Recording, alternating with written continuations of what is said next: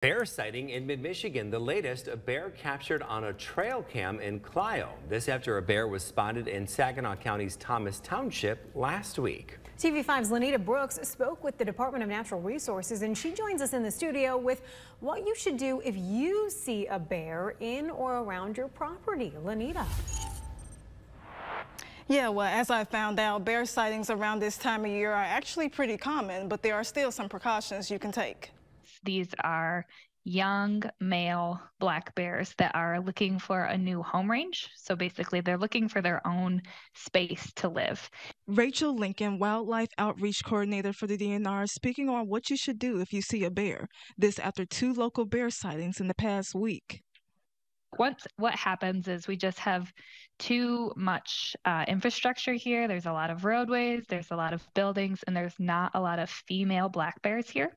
So after a few weeks of you know walking around the area looking for food sources, they usually turn around and head back up north. A Thomas Township resident reported seeing a bear near Gratiot Road in Georgian Terrace last Thursday. This morning, about 30 miles south, a woman reported seeing another one in Vienna Township along Linden Road about a mile west of I-75 near the Cloud Country Club.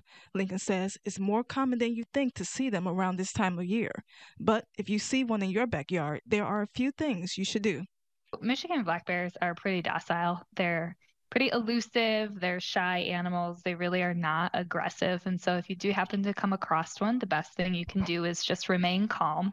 Uh, you want to stand your ground. Do not run or play dead. Um, but if the animal appears to be distracted and you can take a couple of slow steps backwards to head back inside your house or to get to your vehicle, you can do that. Uh, you just want to make a lot of loud noises and make sure the animal knows you're there. And other tips include taking in your bird feeders around this time of year. Also making sure you don't leave any trash out or pet foods outside in your backyards. Any food items is what actually attracts them. So making sure you keep those clear will keep you safe.